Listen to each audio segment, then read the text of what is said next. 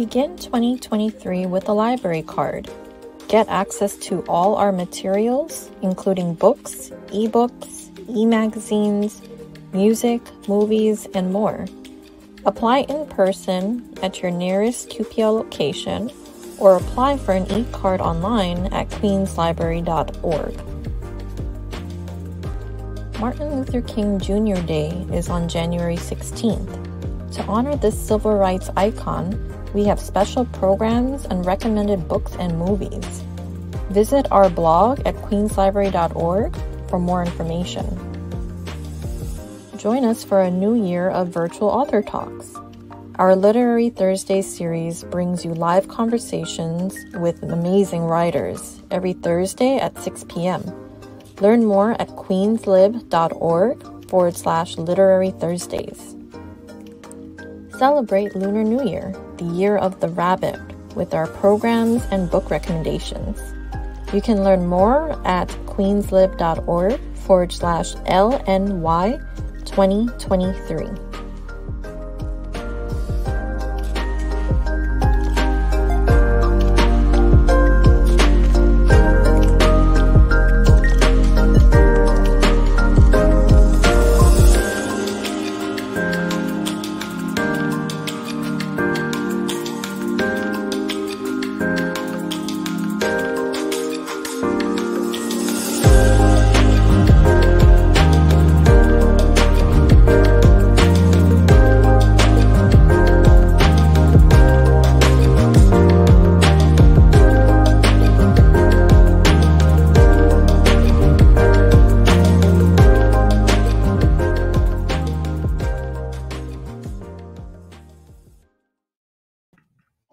Welcome to Queens Public Library's talk with Joyce Carol Oates, author of Babysitter, Them, Blonde, and many other novels, short story collections, and nonfiction books. Booklist exclaims Babysitter eludes easy classification. It most resembles a psychological thriller, but with a dark, torturous, bloody undercurrents running through it. Oates risks losing squeamish readers here, but that's hardly a surprise from an author who has long embraced edgy subject matter. Also unsurprising is the quality of the writing carefully constructed sentences, pitch perfect dialogue, and a central character who is simultaneously sympathetic and repellent. An outstanding novel from a true modern master who jumps across genres with unrivaled dexterity. The Observer states, to be to be able to write with such tearing astuteness about such fiercely contemporary issues, for it's impossible to read this novel without thinking of hashtag Me Too, and as the plot takes on an increasingly racist tone, hashtag Black Lives Matter too, would be a would be a feat for any author of any age. Joyce Carol Oates is astoundingly well into her ninth decade, and this perhaps even more astoundingly is her 59th novel. That she is willing, no, determined to go to the darkest, least politically acceptable edges of human emotion and behavior isn't so startling if you know her work. Kirkus writes, a searing work of slow burning domestic noir. Margaret Atwood says, unsettling, mysterious, deft, sinister, eerily plausible. Hi, I'm Brian Alessandro. I have written for Interview Magazine, Newsday, Penk, Huffington Post, Lambda Literary, and I've recently adapted Edmund White's A Boy's Own Story into a graphic novel for Top Shelf Productions, along with Michael Carroll and Igor Karash. Additionally, I co edited Fever Spores, The Queer Reclamation of William S. Burroughs, an anthology of essays and interviews about Burroughs for Rebel Satori Press. I'm also the co founder and editor in chief of the literary journal, The New Engagement, my first novel, The Unmentionable Mom, was published in 2015 by Karen Press, and my first feature film, Afghan Hound, was produced by Marriott Media in 2011 and is currently streaming on Plex, Tubi, Amazon, and Apple. My new novel, Performer Non Grata, will be released in April by Rebel Satori Press. Culture, Correction, Culture Connection, curated by Daniel Zaleski and now in its 10th year at the Queens Public Library, is proud to present international artists from emerging talent to award winning masters these disciplines include music, theater, author talks, and film. Now expanding into a virtual format, Culture Connection is currently reaching a global audience. Joyce Carol Oates is a recipient of the National Humanities Medal, the National Book Circuit, Cir- Critics Circle Ivan Sandrof Lifetime Achievement Award, the National Book Award, and the 2019 Jerusalem Prize for Lifetime Achievement, and has been nominated several times for the Pulitzer Prize. She has written some of the most enduring fiction of our time, including the national bestsellers We Were the Mulvaneys, Blonde, Firefox, which was adapted twice into films, one of which was Angelina Jolie's debut, and the New York Times bestseller The Falls, which won the 2005 Prix Femina, as well as her landmark 1969 novel Them, which won the National Book Award in 1970. In 2020, she was awarded the Cino del Duca World Prize for Literature. She is the Roger S. Berlind 52 Distinguished Professor of the Humanities Emerita at Princeton University and has been a member of the American Academy of Arts and Letters since 1978. Babysitter is her 59th novel. Joyce, thank you so, so much for joining us this evening. Thank you. So let's start, if you if you would. Um, I would like to start with a with a synopsis of your novel, issued by Knopf, your publisher, just for those uh, viewers who haven't yet had the chance to read it. In the waning days of the turbulent 1970s, in the wake of unsolved child killings that have shocked Detroit, the lives of several residents are drawn together with tragic consequences. There is Hannah Jarrett, wife of a prominent local businessman who has begun an affair with a darkly charismatic stranger whose identity remains elusive, Mikey, a canny street hustler who finds himself on a chilling mission to rectify injustice, and the serial killer known as Babysitter, an enigmatic and terrifying figure at the periphery of elite Detroit. As Babysitter continues his rampage of abductions and killings, these individuals intersect with one another in startling and unexpected ways. Joyce, can you tell us a little bit about your protagonist, Hannah Jarrett? Well, I should explain that initially the story of Hannah was um, a short story. It was quite mm-hmm. short and it, it appeared in a in I think it was Ellery Queen magazine uh, some years ago. So I had always wanted to go back. I realized that it, it, was not fully realized at all. So it was a much longer story, hmm. very much bound up with my life when I lived in Detroit. In at the same time that Hannah, at the same time of the novel. Okay. So I had a, a kind of haunted sensation about the story and wanted to revisit it, I, I probably should describe myself as a formalist. I'm sort of an experimental writer. Mm-hmm. I like to take material and do something different with it. So I wanted to write a novel that was like a, a movie unfolding mm-hmm. So that the reader is like a viewer and we're watching this movie. We don't know what's coming ahead. When you write in the historic present, it's very different from writing that in the past sure. because it's a story that says like once upon a time if that's in the past the story's over so right. now we're recounting it but this other kind of writing which i find very challenging and exciting it sort of takes you through a kind of consciousness like a river that's flowing and you're caught up in it as if you were the protagonist. I, I, certainly go ahead. I, I, certainly got that from reading it, Joyce. It's very visceral and immediate and urgent and, and cinematic. Yes. Yes. Well, unfortunately, I think that life is like that. And I always mm-hmm. feel that the next breath is something of a of an adventure. You know, waking in the morning, especially maybe since the pandemic, we seem to live in perilous times. There seems to be so much more death, so much more immediate and evident than maybe, you know, when when I was growing up. I think we were more shielded mm. from this sort of immediacy. Mm. And the novel was written during the pandemic. Right. It was. I would. I could think of it as my pandemic novel. And what a novel! My God, it's it's really harrowing. So so Valerie, uh, Valerie. So Hannah Jarrett and Mikey and Babysitter are your three protagonists. I think it's fair to say, even though the story focuses mainly on on Hannah and her exploits. What her she's such a complex and fascinating character. If you had to sort of summarize her for our readers who haven't yet had, yet had a chance to get to the book, what would you say about her? Well, I don't know. It's hard to summarize a character when you're so deeply immersed. Like our own consciousness we are immersed in our own being, but it's hard to say what we're like, you know. We have so many different attributes that come out in response to different audiences and different people whom we know. I mean, in, in one sense, I'm a very quiet, introverted person, but in mm-hmm. another sense, I'm a professor and I've given lectures and I, you know, I speak in public quite a bit. So it seems like the actual reverse of being a quiet, introverted person. But, sure, sure. but Hannah's definitely a person of her time. She's a mm-hmm. woman of her era. She doesn't have a career. She married a man who can support her, and he doesn't. Mm-hmm. He wouldn't really want her to work. And she belongs to an upper middle class society in Detroit, Michigan in the 1970s, or rather in the suburbs north of Detroit, Bloomfield Hills and Birmingham and Grosse Pointe mm-hmm. to the east. I lived in I lived in Detroit and I knew people who lived in these suburbs. So I was kind of tracing back my impressions and my my memories. How about um, babysitter? This character is based on the Oakland County child killer. Is that correct? Yes, he was a real person. He was never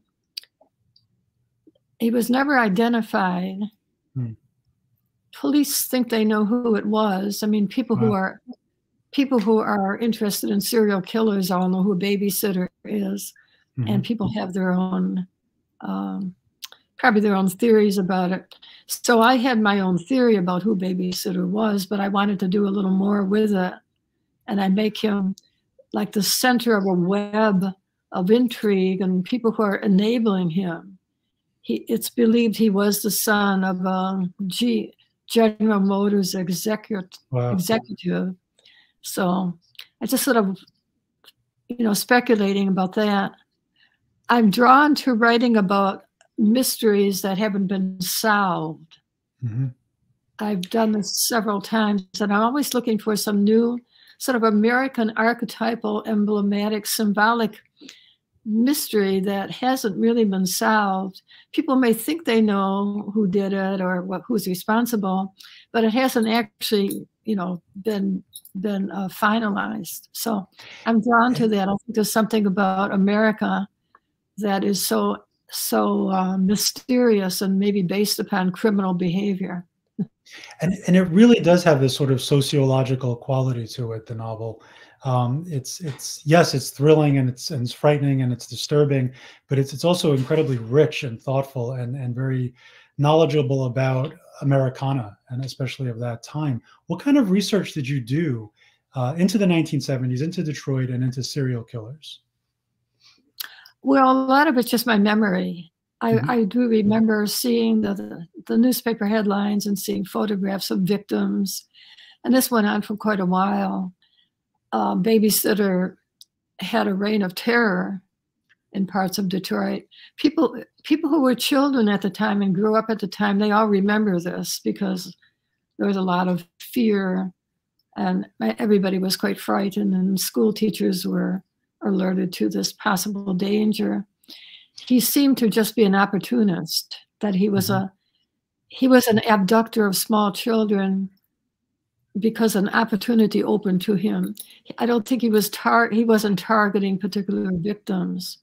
So it's very hard for police to anticipate where he would strike next. Did, did he get but his name babysitter? yeah. Go ahead, Go ahead. No, I should say that what I brought to it in 2021 when I worked on it was a sensibility that we have today about the enabling of of pedophi- pedophilia, the yeah. enabling by people who are not themselves pedophiles and are not criminals.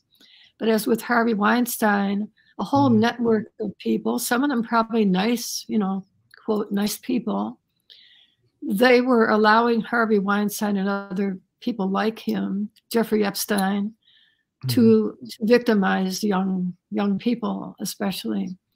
It is and so with babysitter when i first wrote the story i didn't have that kind of consciousness. Babysitter was a kind of isolated person and a random person.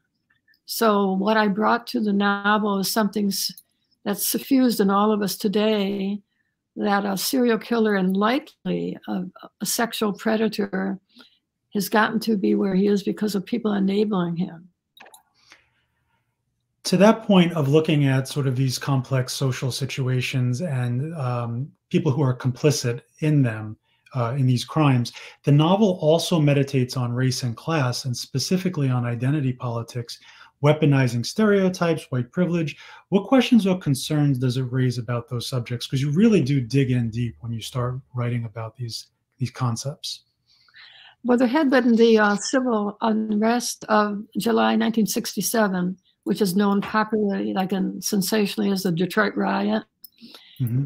Black black people in a neighborhood in an inner city sort of rising up against policemen so there was a lot of racial tension in Detroit. I think there always has been, mm-hmm.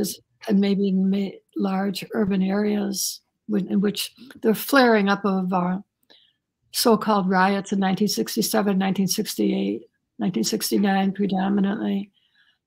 And so that was just the way people felt. So if something was going on that was criminal behavior or pedophilia, uh, serial killing, I think the racists tend to blame one another.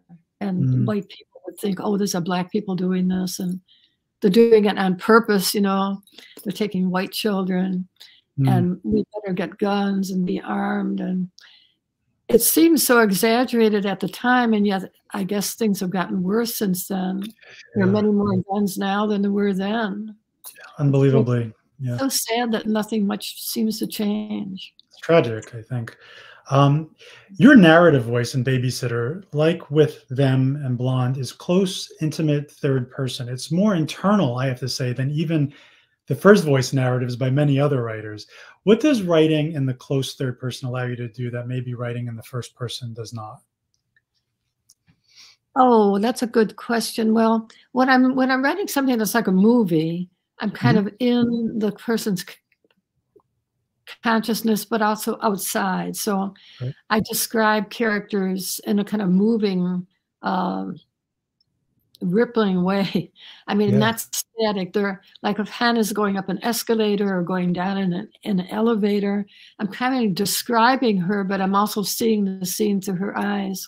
Mm-hmm. So I think in, in movie making, when it's particularly effective, we have the same sort of phenomenon where you're seeing somebody and yet you're sort of looking at, at what they see as if you're in, inside their consciousness. It's amazing. It's go ahead. Go ahead. No, it's a strange kind of writing, and it's actually very stressful. I, mm. I actually don't know why I'm doing it. Well, you do it really well, though. It's really thrilling to read. well, I teach creative writing, and I get very, very excited about my students and their voices and what they're doing. So I'm actually interested in many different ways of storytelling. First person, third person at a distance, mm-hmm. you know, collective, kind of collective consciousness. This way of writing, I wouldn't recommend for anybody. I do find it very stressful. Well, I mean, it's it's you're kind of exploring phenomenology here, and and my background is in clinical psychology, and I have to say that you do this thing so well. All of your characters in Babysitter are so different from one another and fall into different races and socioeconomic strata, but you understand them all so well, like a psychologist. Can you talk about your process or your approach to getting into, as I said before, the phenomenology of, of the characters? Well, I don't find people all that difficult to get into. I'm very sympathetic usually mm-hmm. when they're adolescents in my writing, I really identify with them a lot. Like mm. Mikey to me was very close to my heart. And I wrote a novel a few years ago called A Book of American Martyrs. As a young girl, she's about 15 years old, she becomes a woman back a boxer. And she was complete almost completely, you know, non-verbal and mm. not anyone who ever read a book, but I just feel very close to them. So I don't have any trouble with that with me, it's trying to get the sentences to have this kind of mercurial quicksilver mm-hmm. movement. If I'm trying to replicate a movie where nothing ever stops, maybe it can be mm-hmm. slow motion, but it's sort of always going forward. The movie comes to an end. So Hannah thinks now and then, she finds herself in nightmare situations and she thinks, oh, yeah. I got to play out the scene. And maybe it's because I'm a widow and I've have had some, I guess, stressful periods in my life, I sort of feel that a lot of our lives are playing out the scene. Mm. It's pretty mm. awful, mm. but if you hang on, maybe mm. by the tips of your fingers, you can get through the scene. Wow, I, I, think that's really profound and uh, astute, and I think I, I agree with it. aside from the Oakland County child killer, were there any other true life stories that inspired any part of Babysitter? I mean, your experiences in Detroit in the 70s. But.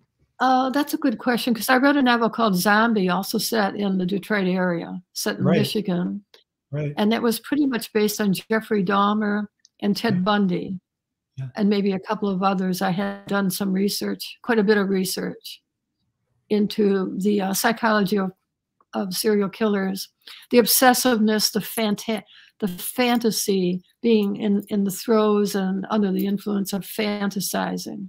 Mm. These are people I think who can't help themselves, mm. by which I'm not absolving them because right. no, no. I mean they they can help themselves in a sense of just not acting on the fantasies.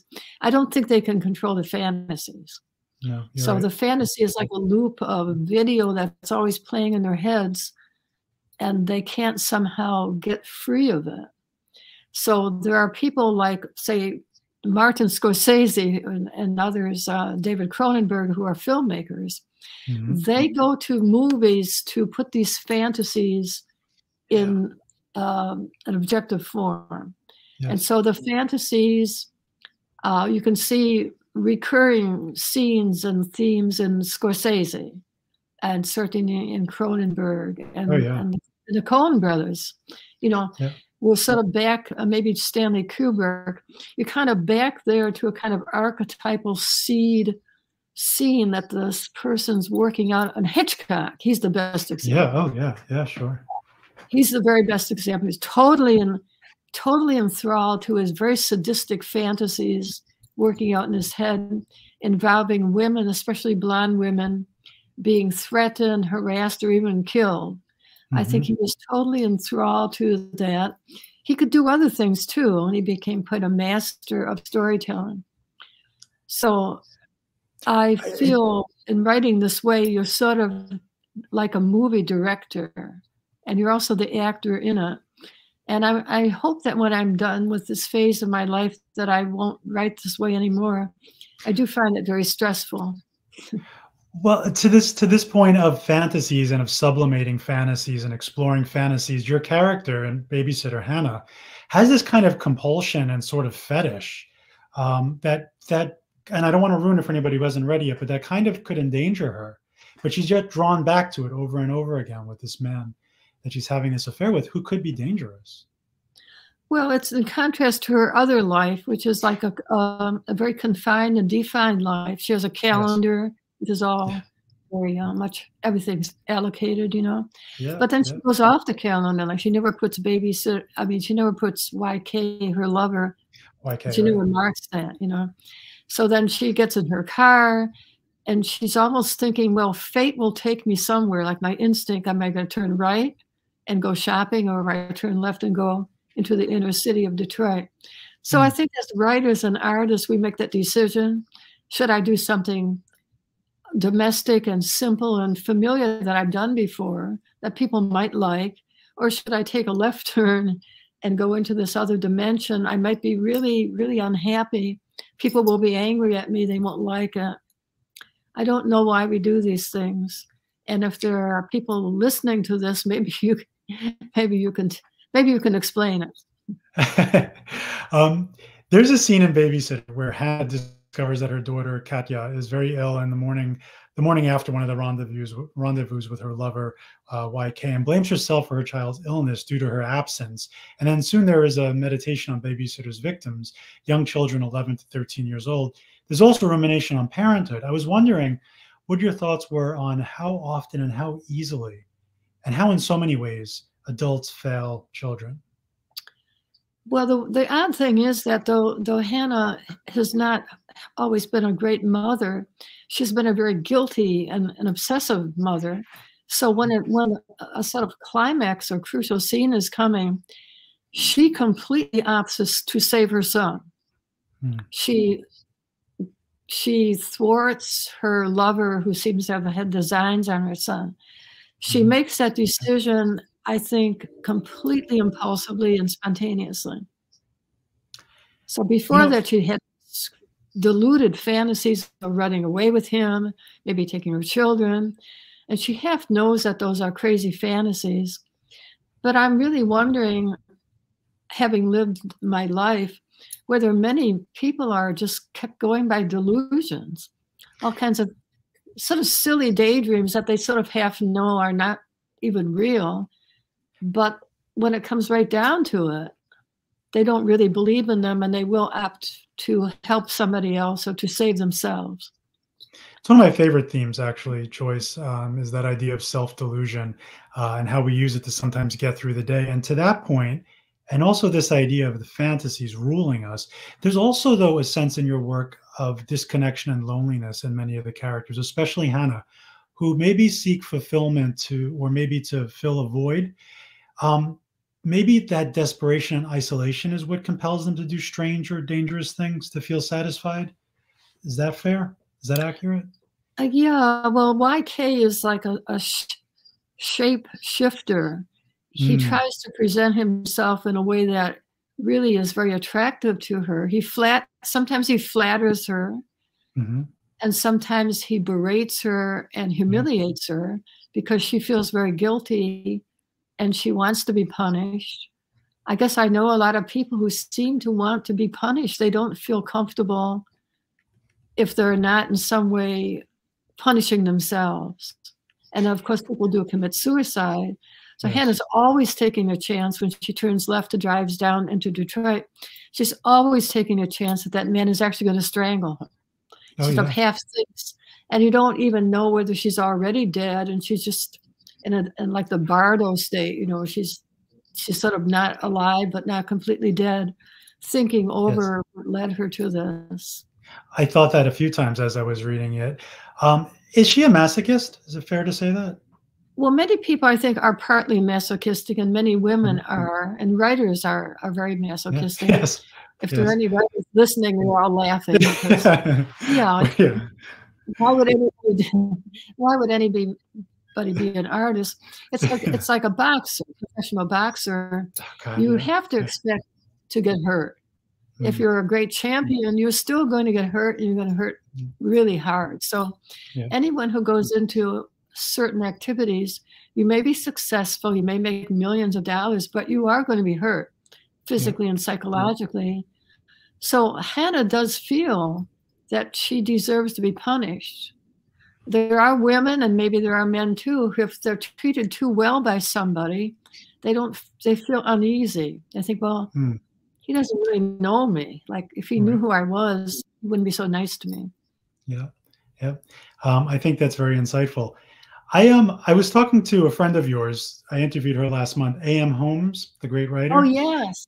And great. she told me she said you have to ask joyce about horror She's a great fan of horror. I know that you're a fan of horror and a purveyor of horror in myriad forms and thematic forms. And I personally love horror because I think it focuses all of our general anxieties that we have about annihilation and it provides a catharsis. But why do you love horror and all of its permutations so much? Well, that's an interesting um, that's an interesting idea. Yes, I I mean I'm interested in the art of the grotesque mm-hmm, so mm-hmm. that it's something that's like a finite and has a frame around it. I think horror in real life is completely chaotic. You know, we're kind of in a horrible situation politically in our mm-hmm. country. And during the pandemic, uh, public health crisis, completely out of control for many people, and still, you know, still raging in a way.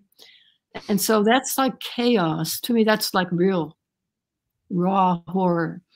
But mm-hmm. with a work of art, you you select your cast of characters. You have a very simple, usually kind of simple plot and trajectory. Maybe at the end there's a temporary triumph of some kind. Stephen mm-hmm. King usually does that. You have a trajectory where there's some sort of resolution that's not completely dark. Mm. Uh, H.P. Lovecraft is much darker. Oh, so yeah. he he so he starts out at one level and just keeps going, going different darker. Yeah. But it's uh it's a narrative, so it's like storytelling, and it's I find it fascinating. Like tragedy is a it's like a sacramental incantatory art that has its tropes and its conventions. But all these are are are selected and finite, unlike mm. light. Yeah, yeah. It, I think it, uh, it's kind of, therapeutic, maybe sometimes for writers or artists to explore this kind of uh, uh, you know, very ambiguous, intimidating situation. One of the many things that surprised and impressed me about Babysitter Joyce was how some of the characters, like Mikey or YK, who at first appear to be archetypal menaces, slowly reveal themselves to be tender, and your treatment of them is quite humane, even if there, um, you know, remains menacing things about them. You talk to us about how you're able to do that and develop these characters that are kind of uh, repulsive or, or, or cruel or scary. Well, I really much identified with Mikey. I mean, not that yeah. I'm anything like him, but he's yeah. a street person who's like a hustler. He was orphan. He was sexually exploited by older men. And then he is kind of aged out. He becomes eight, he's 18 years old and has to leave the uh, facility when he's like a, kind of orphanage or for mm-hmm. boys. Mm-hmm. So he ages out and he goes into this sort of street world where he finds himself in the employ of uh, of a really of a psychopath or a sociopath who's just you know using him. Oh yeah. And then he kind of discovers in himself a sort of conscience, mm-hmm. and he realizes that who baby he knows who babysitter is and he he knows how awful babysitter is he knows that nobody's going to stop babysitter unless it's him. Yeah. So he kind of, uh, you know, it's it's like vi- a vigilante uh, rising up of some natural person, and I feel that in many people, maybe in many adolescents, they're not completely formed, and they do have a con a conscience. Mm-hmm. And if they get the right situation, they may just react in a way that's very uh, life sustaining, that they actually reach out and help somebody. Like the happiest he feels is he saves a child's life. Right. And he realizes how happy it makes him feel. He just like he's elated.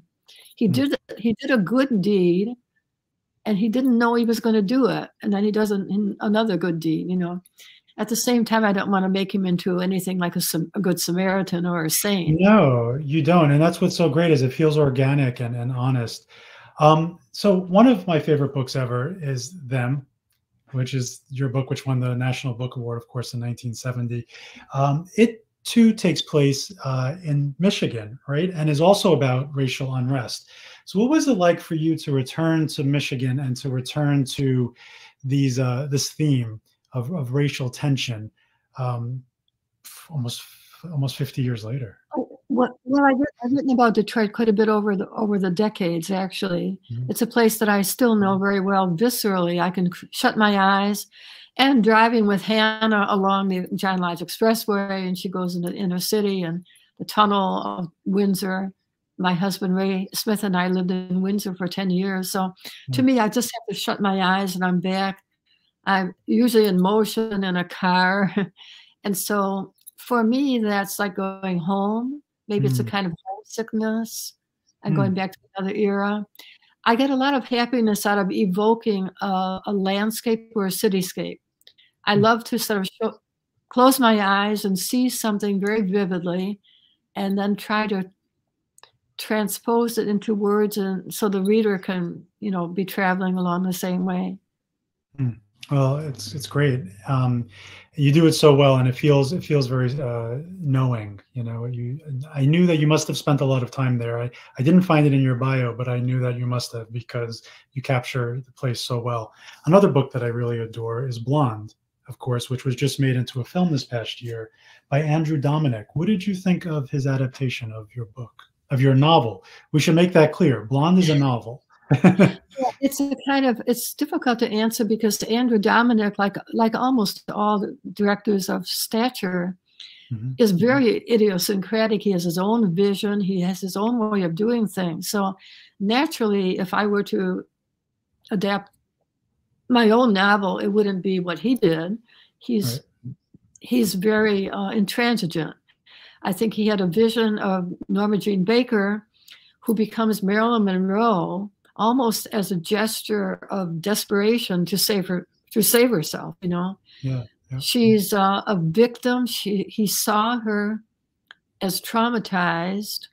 He saw Marilyn Monroe as a traumatized person, and I think to some degree that's that's absolutely true.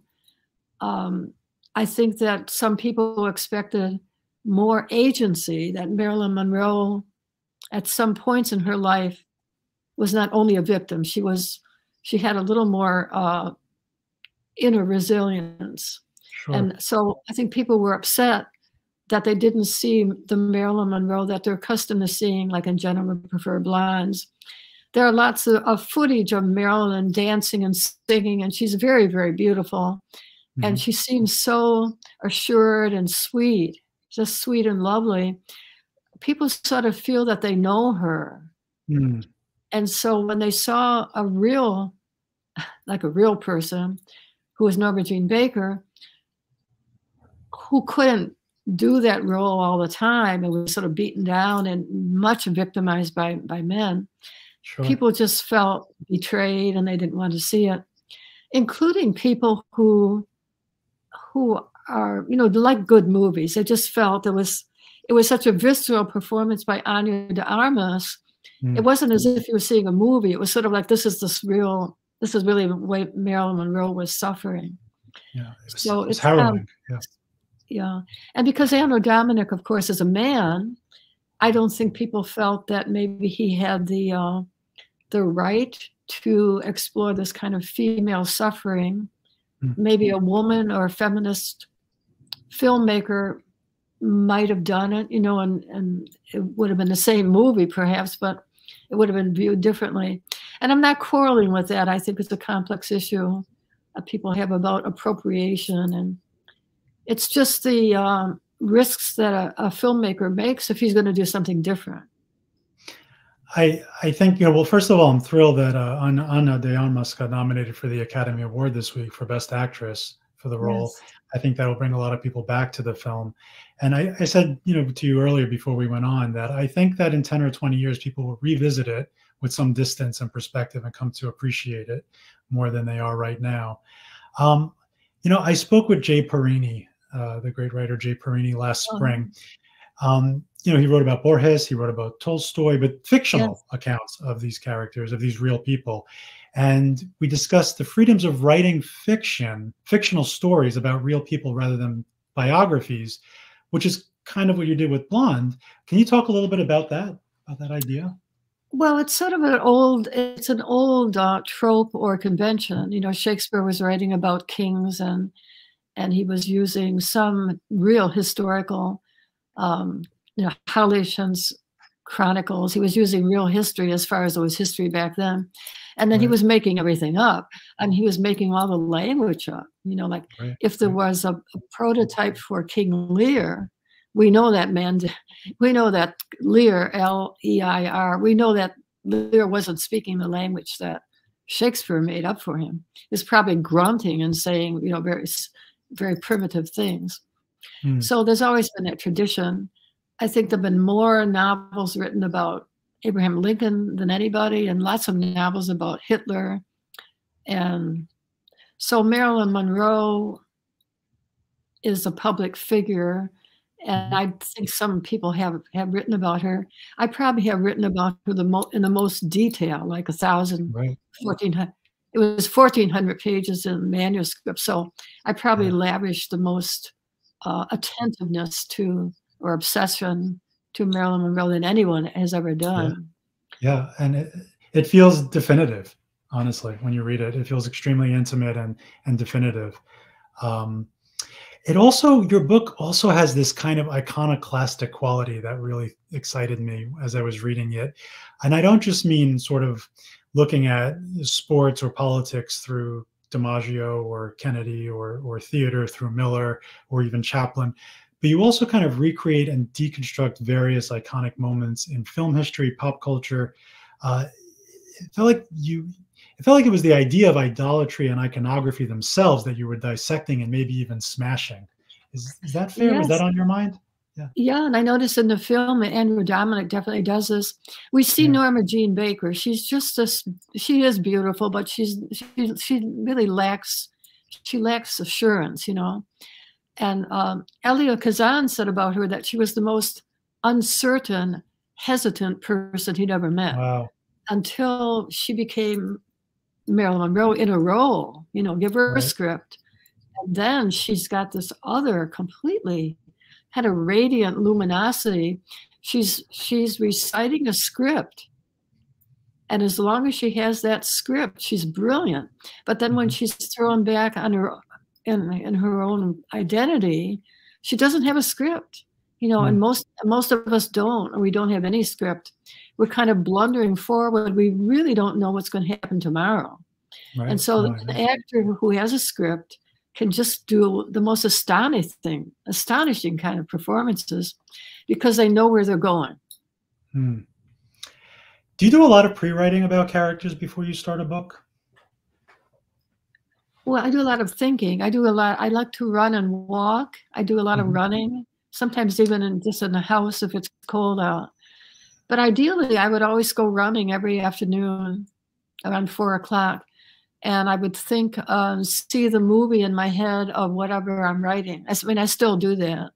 Sure. I uh, find that really the only way to write. I don't write just in words. First, I see what happens.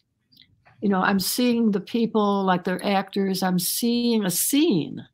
Mm-hmm. And how do you get the most out of a scene? So I identify with Shakespeare with that. Shakespeare always gets the most out of a scene.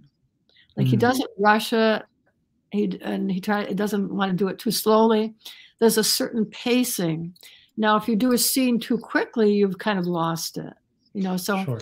I'm so I could say I'm kind of obsessed with the pacing of a narrative. And if I get it right, I keep doing, I keep revising. I revise all the time and I'm sort of obsessive about revising. I know people don't think that. I guess people think that I write quickly. I could never in a million years write a novel like Babysitter as a first draft. I mean, I don't, I could never do that. It's do you like have an seven, average? You know, like 17 times I'm doing a paragraph or yeah, 20 okay. times and then I do it all over again.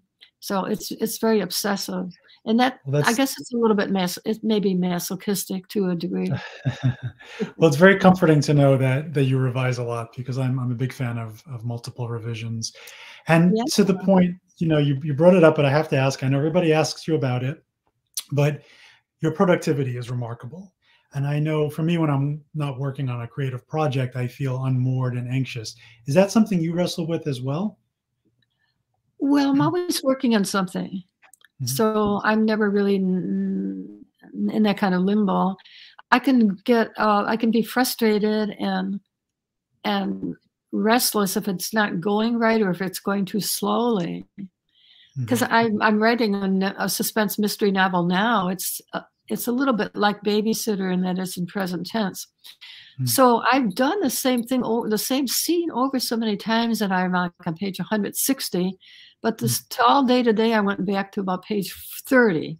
So here I'm doing a scene. I thought I thought I'd done it, but now I'm making it better. And I'm really mm-hmm. surprised that at some of the choices that I made the first time, because this time I just know it's much better.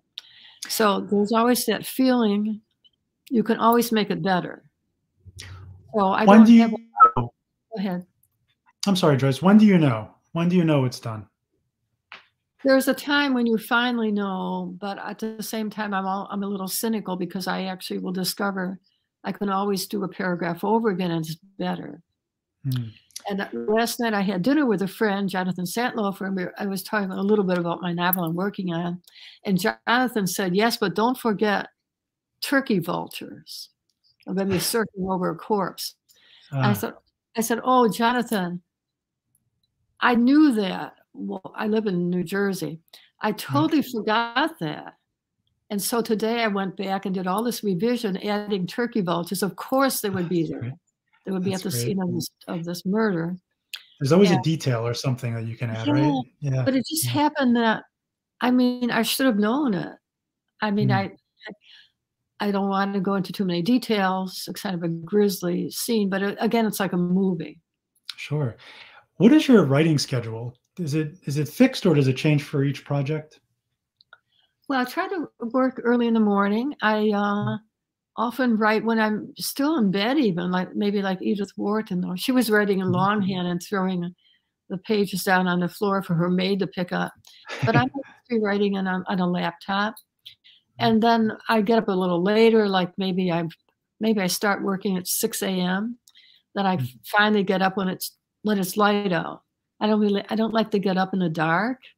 Hmm. So I guess that's a little bit of a superstition. If I wake up like at five o'clock in the morning, I don't want to get up until it's light. And then my my cats are sleeping with me, so I don't want to disturb them. But then I will get up, you know, when it's light, and then I go around, do things in the house, and then I go to my study, where I'm working a little more um, at a different speed, I think and I can work kind of all day long with interruptions. As I said, mm. I like to walk and run. I see people. Sometimes I'm teaching, and right. then I come back to what I'm doing. So at the back of my mind is always this kind of fascinating uh, movie going on, and I go back. It's like it's stilled, and I go back and start it again. The fantasies are always playing out. um, we're going to be taking questions for Joyce in a few minutes, so please start sending them in. I have about a question or two of my own to ask you before we start taking questions from our viewers. You have a very well known and very active Twitter account, Joyce, and you've made some headlines uh, with some of your tweets. Most recently, this past summer, you wrote something about um, white cisgender male writers. You recently um, wrote a piece about Steven Spielberg's The Fabelmans, which got a lot of attention. I think that maybe the backlash you sometimes received is often unfair and ill-informed. What are your th- thoughts generally about this new world of social media, cancel culture, freedom of speech? Well, speaking about my own tweets, I'm always surprised that anybody takes them seriously or thinks they're important. I can't even imagine why anyone would care what I thought about the fab- Fabelmans. But I, I think of Twitter for me as sort of like conversation, like I might be talking to friends say mm. i used to talk to Edmund White on the telephone a lot, but we sort of draw, you know, drifted away from telephone calls. But it's like you're having conversation with people. Some of them you know. I mm-hmm. have Twitter friends, and sometimes a lot of my tweets are in response to somebody else's tweets. So mm. when they're taken out of context, then they have a different meaning, which is not, you know, not the real meaning.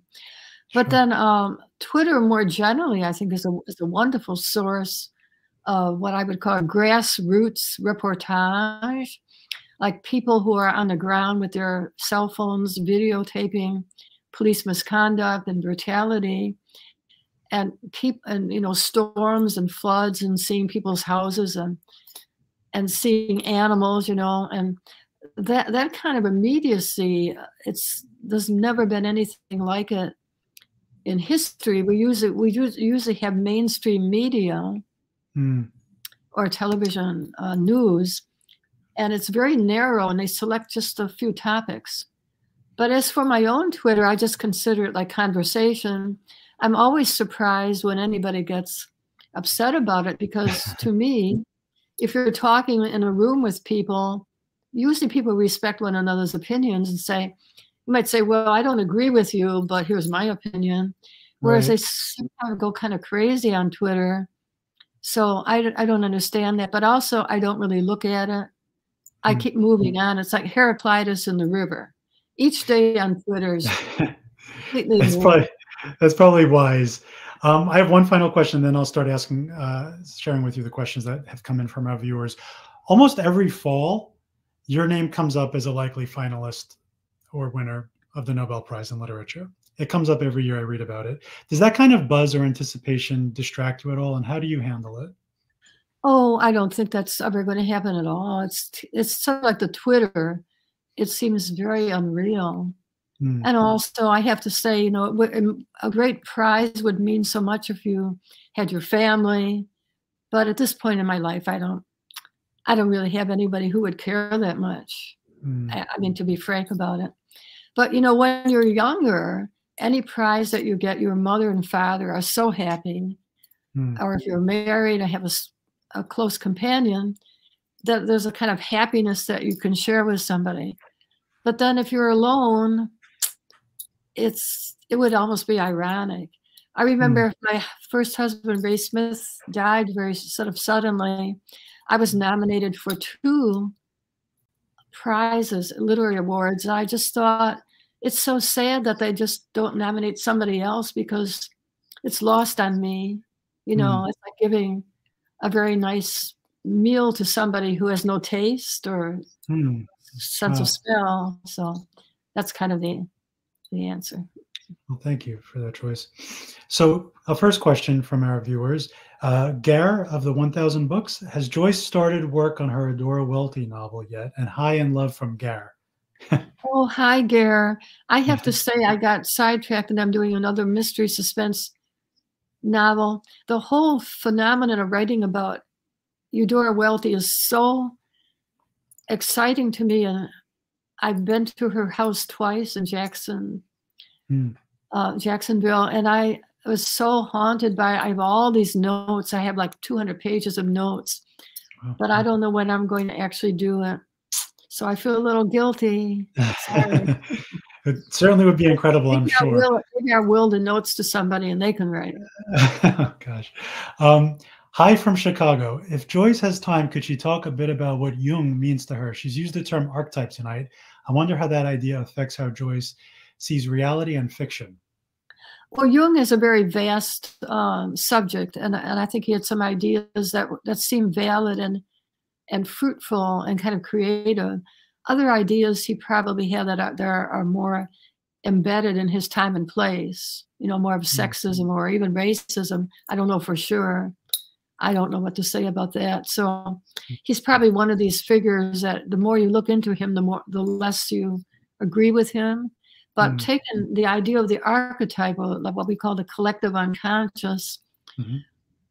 that's always been a very controversial term. But I think we can say, based on the behavior of human beings over over the millennia, that our brains seem to be hardwired for us to believe in something like a god or a deity. Like the old wise man is how Jung spoke of that archetype of the, the god. The, mm-hmm. old, the old wise man. People will fall for that. Mm-hmm. Sometimes it's a con, sometimes he's just a con man and he's playing on the archetype. Other times the person could be genuinely a leader, a charismatic, and care about other people. I mean, mm-hmm. I would guess that Jesus Christ as a historical figure was a wise person who had this kind of connection with others. And the collective unconscious is a kind of metaphor to speak of consciousness, even though it's probably not valid. Mm-hmm. But I mm-hmm. do think we have these, um, some things we inherit. The way we, we do inherit a fear of strangers. Mm. It's hardwired that our brains react, uh, babies and infants, children, they react in a visceral way. Yeah, if yeah. they see a face that's grotesque, mm-hmm. if they mm-hmm. see a human being that has something wrong with him or her, we can't really control that. So mm-hmm. that's what we might mean by an archetype. Uh, if you're in neuroscience, you you know can explore that in more more uh, scientific terms. Uh, another question is uh, Thank you for this brilliant interview, Miss Oates. I recently went to a screening of Smooth Talk by Joyce Chopra and learned the film was based on your work. Can you comment on this uh, and your work as it relates to this film? Well, a long time ago, I wrote a story called Where Are You Going? Where Have You Been? And it was anthologized quite a bit and ultimately became the story of mine that's the most read by anybody. Hmm. And Joyce Chopra and Tom Cole to whom she was married at that at that time. He has passed away since then. They were young filmmakers, and they wanted to adapt it to a movie. So of course I said yes. I wasn't involved otherwise, and I only saw it when it when it was um, it was given a preview, and I was just dazzled to hear my own words in, in the screen and and it was quite a remarkable experience. I mean, really, really quite stunning. I had hmm. no idea that it would be so remarkable because over the years, it was Laura Dern's um, premiere, her debut. So mm. Laura Dern was about 16 or 17. She's just wonderful. I mean, the movie might never have gotten anywhere without Laura Dern. Wow. She's terrific. We, I've seen. We love. Uh, yeah, I'm a big fan of Laura Dern's as well. She's yeah. Fantastic. The two of us have kind of been parallel with each other, you know, over the decades, and she's right out there. She's still terrific. My yes, goodness, doing some of her best work now. She um, is. She's just amazing. So the, they changed the ending. Well, they made it longer. Smooth Talk is not the title that I had. So they mm-hmm. took my story and made it longer. It's a feature film. Added a lot of scenes and not in the story, and put in more relationship with the mother. And they did a wonderful job, and it's really quite remarkable. But there's a happy ending. That's not my ending. And my ending is, of course, my ending is more like blonde. Yeah, you know. which uh, which I love so much. It's such a, I love those kinds of endings. Um, we have two great comments. Amazingly wonderful interview. Great questions. Great answers. Thank you for being a part of Culture Connection, Joyce Carol Oates. You are a national treasure. Um, and then another question. Joyce, can you tell us something about what inspired the leap between your novel Blonde and your most recent recent short story Miss Golden Dreams 1949 and your new book Night Neon? Oh gosh, that's a good question too. Well, I was I was taking the I I said that before I had 1400 pages of blonde. There have been mm-hmm. parts of it that I had to cut out. It's only only 800 pages. Only, yeah. So I've taken a lot of parts of Marilyn Monroe because Norma Jean Baker to me is still alive in some way, mm. in some mm-hmm. dimension. And I could go back and write about her at any time you know so as marilyn monroe she's uh, imagined as she's a sort of uh, ai hmm. machine you know she's like a, a, beautiful doll that's been made up of uh, very lifelike materials but she's been programmed to have marilyn monroe or norma jean baker's actual actual brain you know wow this kind of science fiction but also sociological i think um, comment, comment, cultural comment. It sounds fascinating. Uh, great concept. Um, Joyce, Carol Oates, Babysitter is out now. Joyce, thank you so much for this uh, talk this evening. It's been really wonderful and very rewarding. Thank you. It was lovely to talk to you. Thank you. Take care, everyone. Have a good weekend.